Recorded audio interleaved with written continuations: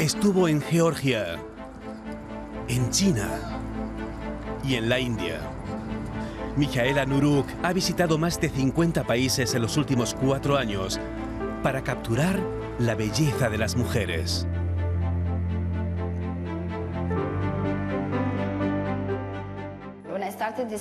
Cuando empecé este proyecto no pensaba que se convertiría en un proyecto global, solo buscaba algo que me interesaba.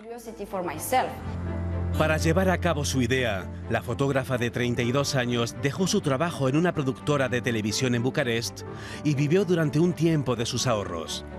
Luego financió sus viajes mediante una campaña de crowdfunding. Myanmar, Alemania e Italia. Su lugar de trabajo son las calles y los mercados. Allí, Nuruk entabla conversación con las mujeres y las retrata. Es un proceso muy intuitivo. A veces hay química entre nosotras o un intercambio de energías. A veces me llama la atención una mirada. La fotógrafa rumana prepara su primera gran muestra en Berlín. Quiere que todo quede perfecto. Estas imágenes se han convertido en parte de su vida. Tienes que dedicarte a eso en lo que crees.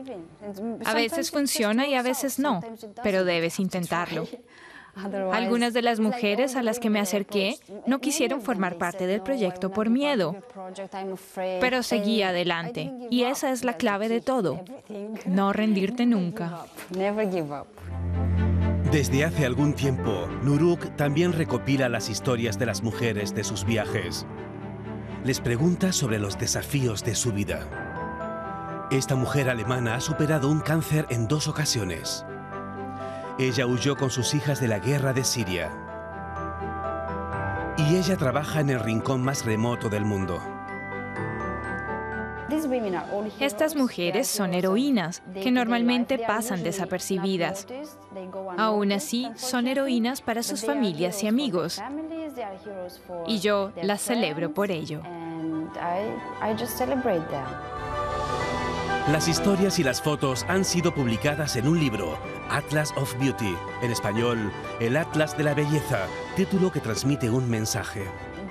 La belleza se muestra en todas partes de forma distinta. No tiene una definición y ese es nuestro problema. Intentamos poner etiquetas a todo. Tenemos que hacer eso a un lado y observar la belleza en sus distintas formas. Mijaela Nuruk pronto volverá a viajar a nuevos destinos aún le quedan muchos países por visitar. Su proyecto solo acaba de empezar.